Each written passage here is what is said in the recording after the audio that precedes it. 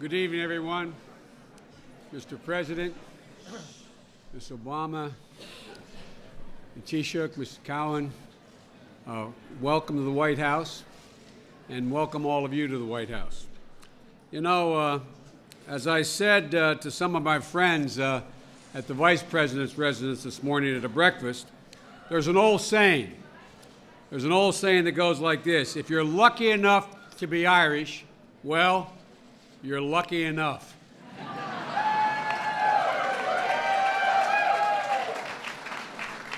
I was telling the Taoiseach earlier today, one of my favorite cartoons to explain to the Irish Irish what we American Irish are like was one handed to me, Mr. President, by Pat Moynihan about 15, 18 years ago. It was the New Yorker magazine. And it was a picture of Pat and Mike sitting in a pub in New York. And Pat looks at Mike and says, Mike, don't you wish you're in a pub in Dublin, wishing you were in a pub in New York? you understand that about us? You got it all straight, Taoiseach. But the Taoiseach knows a lot about it. His mom uh, lived in, uh, in Long Island for 10 years or so. Uh, God rest her soul. And uh, um, although she's, wait, your mom's still, your mom's still alive as your dad passed. God bless her soul. I got to get this straight. You know, uh, there are nearly 40 million of us who uh, claim to be, to be, Irish American. That's considerably larger than the entire population of, uh, of the Emerald Isle. But 40 million, many of you in this room, have made incredible, incredible contributions to our country. Perhaps the greatest contribution collectively we Irish have made is that we have the same set of values, both in Ireland and here family, faith, pride, and courage. And these are the values, in my view, and I mean this sincerely, that to define the man I work with every day, Barack Obama. You know,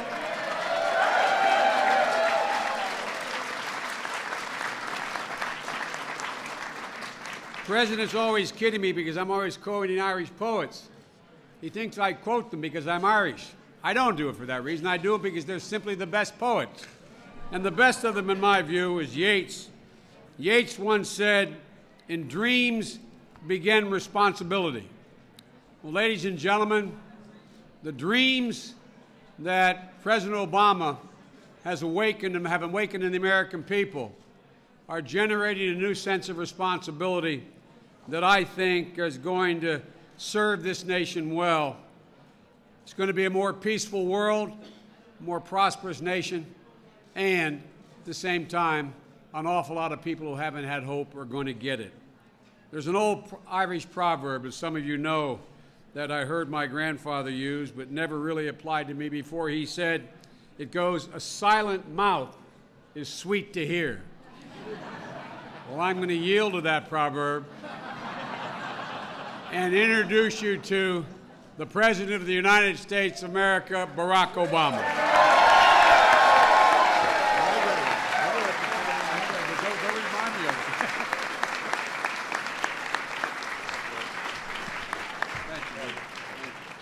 Good evening, everybody.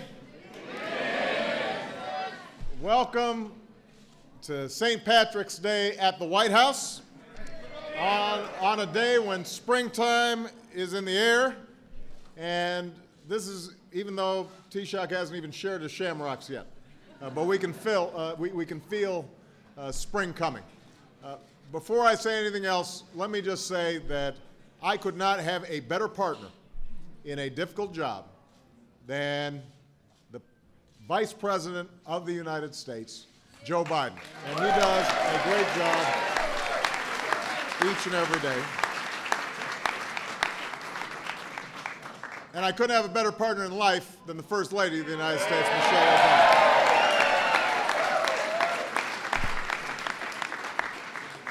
Welcome back, Mr. Prime Minister, First Lady. We are thrilled to have you. The Irish and Irish Americans are out in force tonight. Uh, we've, uh, I believe, if I'm not mistaken, that uh, Supreme Court Justice Anthony Kennedy is here. Uh, a couple of my cabinet secretaries are here as well. Uh, Secretary of Health and Human Services Kathleen Sebelius and Secretary of Homeland Security Janet Napolitano. I would love to acknowledge all the members of Congress who are here tonight, uh, but there are a few dozen of you, uh, including three or four Murphys. So, uh, yeah, right, there's one right there. Man, you're everywhere. Governor Martin O'Malley, who's uh, been known to to uh, to be the lead in an Irish rock band. Uh, Governor Bob McDonnell is here of the great Commonwealth of Virginia, and Mayor Tom Menino, shipped down from Boston. My dear friend, uh, the United States Ambassador to Ireland, and the person who is uh, singly responsible for converting the entire country to become Steelers fans, Dan Rooney.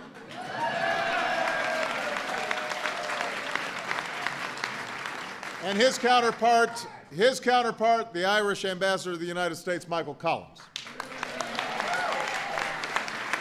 So, welcome everybody. Uh, this has been a, a wonderful day uh, filled with good reminders of just how deeply woven the ties between our two countries are. Uh, we welcomed back a friend, the Taoiseach. Uh, he and I remarked once again of our shared ties to County Offaly. Uh,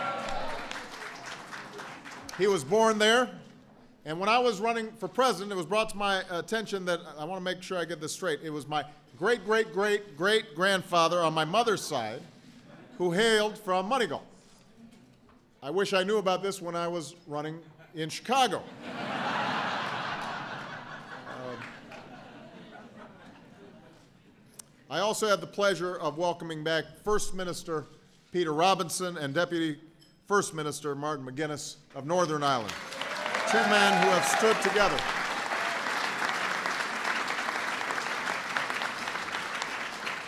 Two men who've stood together with conviction to chart a historic path towards peace. Uh, they are here tonight. Uh, we were thinking about sending them up to Congress tomorrow to see if they can share some of their secrets. I also, uh, I also just met with uh, Andrew Sens and Brigadier General, uh, I want to make sure I get this right, Tauno uh, who, because of their successful leadership, are winding down the work of the Independent Commission on decommissioning after 12 years. And Matt Baggott, the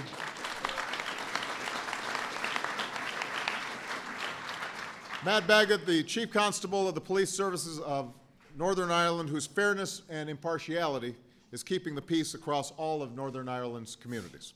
So, thank you.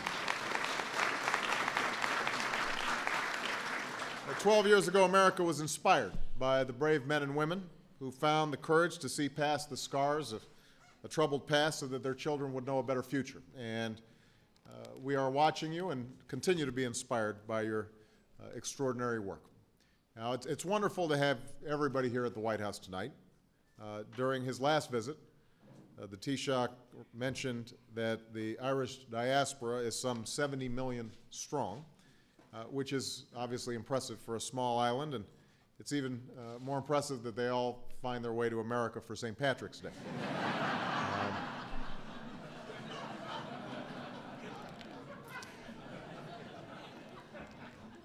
I, uh, I can make that joke uh, as, as somebody of, of Irish heritage. I should mention, by the way, uh, that uh, I, we were discussing this uh, with uh, my mayor from Chicago, Mayor Daley, and I told him that I had this uh, Irish heritage, and, and, he said that uh, he had actually Kenyan blood in him also.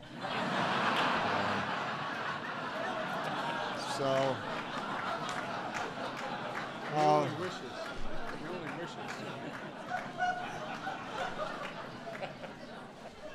Uh, uh, it just goes to show that in, in, in recent decades it, it, has become cool to be Irish.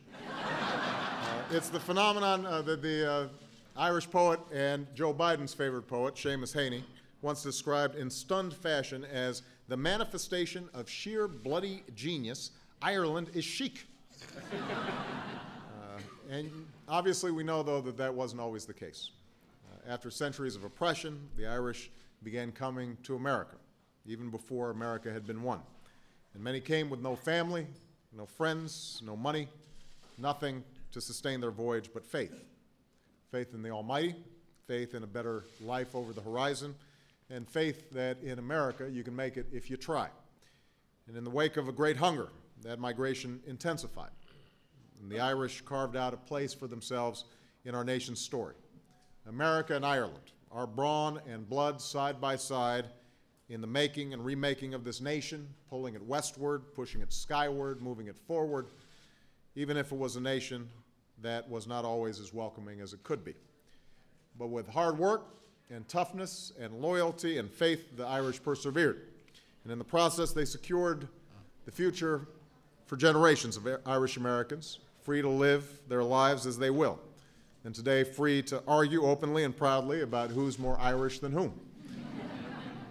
so it, it can be easy to forget that there was a time when no Irish need apply particularly when it was half a century ago this year that John F. Kennedy walked through the doors of this House as the first Irish Catholic President of the United States. Uh,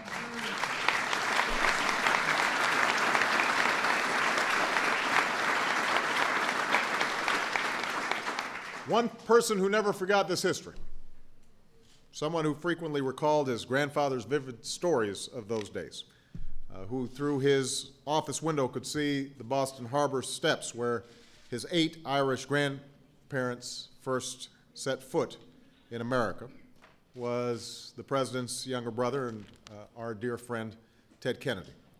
Um, you know, he knew as we do that our nation.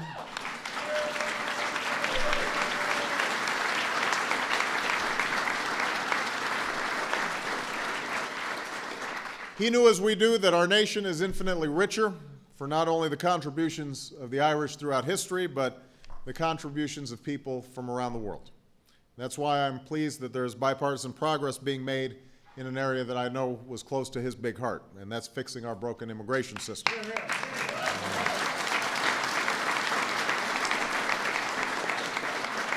and that's why my own uh, commitment to comprehensive immigration reform remains unwavering.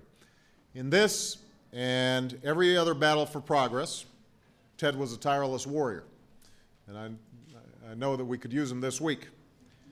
Um, I am so glad that we're joined tonight by his wife Vicki, his daughter Kara, his son Congressman Patrick Kennedy, and his sister-in-law Ethel Kennedy, as well as a whole bunch of nieces and nephews. Uh, please give them a big round of applause.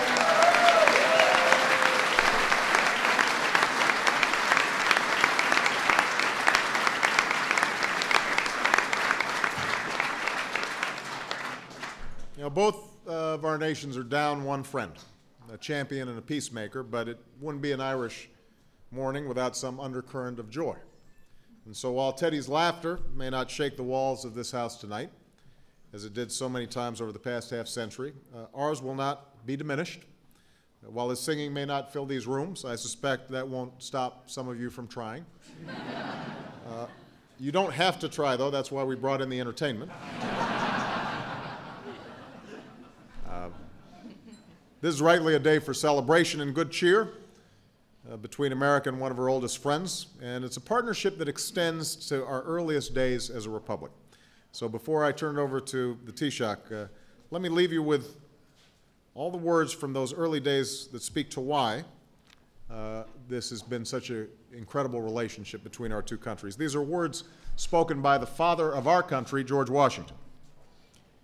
When our, when our friendless standards were first unfurled? Who were the strangers who first mustered around our staff? And when it reeled in the light, who more brilliantly sustained it than Erin's generous sons? Ireland, thou friend of my country in my country's most friendless days, much injured, much enduring land, Accept this poor tribute from one who esteems thy worth and mourns thy desolation. May the God of heaven, in his justice and mercy, grant thee more prosperous fortunes, and in his own time cause the sun of freedom to shed its benign radiance on the Emerald Isle. To all of you from near and far and over all the years and tests ahead, may America and Ireland forever brilliantly sustain one another's sons and daughters. And with that, uh, to our guest, the Taoiseach of Ireland, on behalf of the American people, uh, we want to thank you for your presence here. We are proud to call you a friend this day and every day. Uh, and uh, we are looking forward to planting this little piece of Ireland in the garden here in the White House. So happy, happy St. Patrick's Day, everybody. I'd like to introduce the Taoiseach, the Prime Minister of Ireland, Brian Cowen.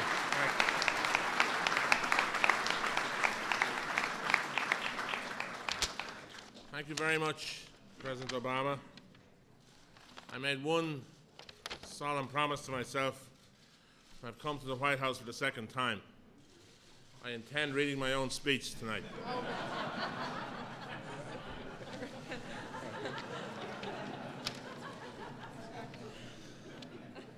President, First Lady, Mrs. Obama, Mr. Vice President, distinguished guests, ladies and gentlemen. I want to thank you, uh, Mr. President and Mrs. Obama, for your warm and gracious welcome to the White House tonight for so many of us. Mary and I and all of our delegation are delighted to be here with you again this year. We've had a great day of celebrations today your at your nation's capital, starting, of course, with a very gracious invitation from the Vice President, great Irishman Joe Biden, to a St. Patrick's Day breakfast at his house. Himself and Jill gave us a wonderful start to a wonderful morning, and we deeply appreciate that wonderful gesture. Thank you.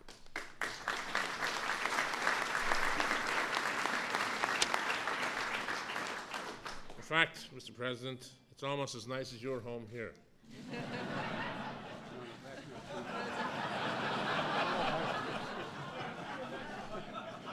Joe Biden said he, was, he always voted for public housing. He never thought he'd get into one as good.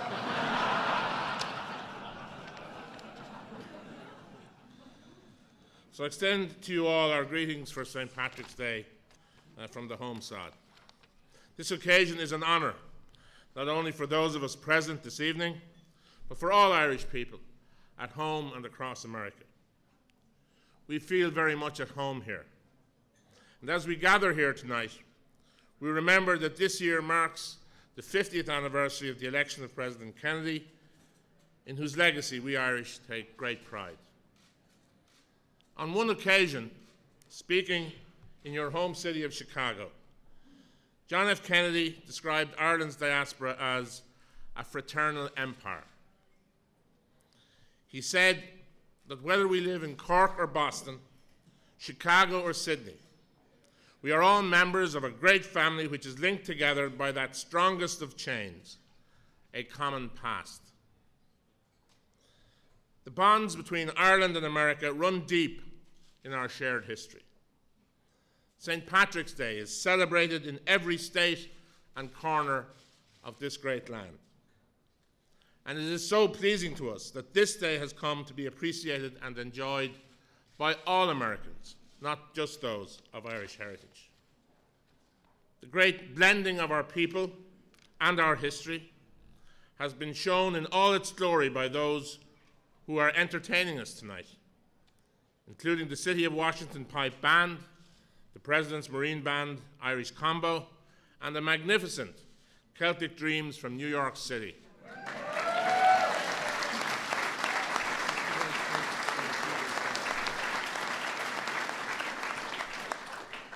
Next year, we will be having a special year of celebration of Irish arts and culture here in the United States.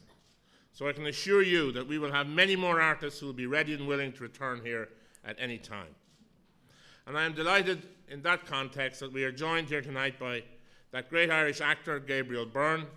Gabriel this week accepted an appointment as Ireland's first cultural ambassador, and I wish him well in that wonderful endeavour.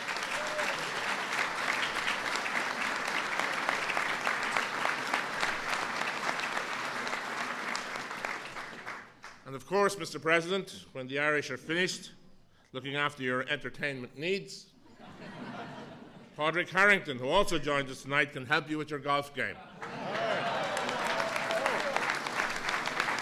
need help. There he is. I need some tips.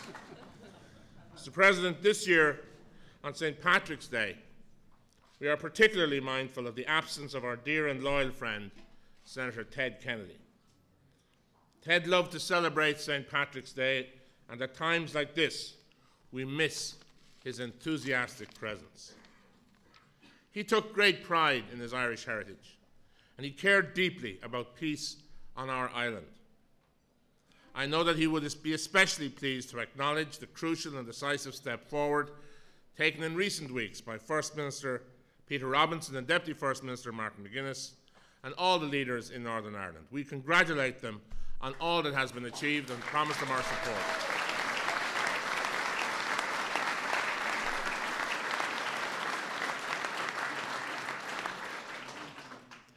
In conclusion, can I say that we hope to see you, First Lady, and your family in Ireland soon, Mr. President.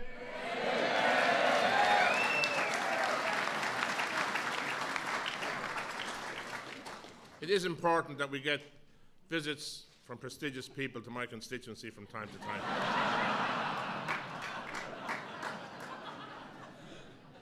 I'm sure you'll have heard that the great welcome accorded to your predecessors is available to you as well. and we'll never forget the historic visit by President Kennedy to his home place in 1963. And I can assure you of an equally warm welcome, especially in County Offaly, where I may have some influence. I also want to thank you very much, Mr. President, because we're delighted and touched to know that not only will you plant shamrock in the children's garden, but it will grow from soil from my own county of Offaly. Not only is the soil from Offaly, but it's also from Moneygall, the place of your own family's Irish heritage. I believe, of course, that this soil will have special properties that will ensure that the garden flourishes. At least I hope so. And I know that when you trace your ancestry back to that place where I have lived all my life, you'll find a hearty welcome and many people waiting to see you there and to reconnect uh, with your Irish heritage in a very real and personal way. It's amazing, you know, how many O'Haras, O'Sullivans, and O'Neills are frantically searching to see if there's any way they can be linked to the Obamas.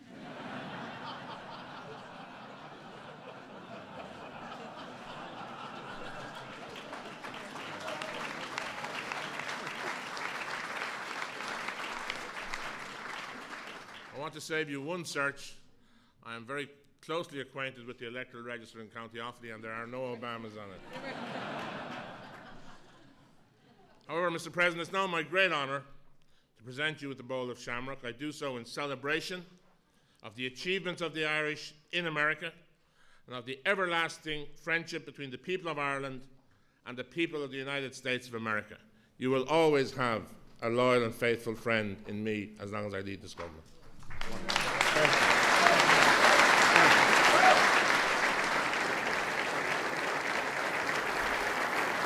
Oh. This is beautiful. Don't eat it all. Don't eat it all. This is wonderful. Beautiful. Thank you so much. And I think, uh, in addition to all the fertilizer we put down, this will bring good luck to the uh, garden. Thank you very much. That is lovely. Thank you. You're welcome. There you go. Yeah. Okay. So uh, I want to thank everybody for being here. I want you to have a wonderful time. Not that I need to tell you that. Uh, if anybody wants pictures taken, uh, Patrick Leahy is here. He always has a camera.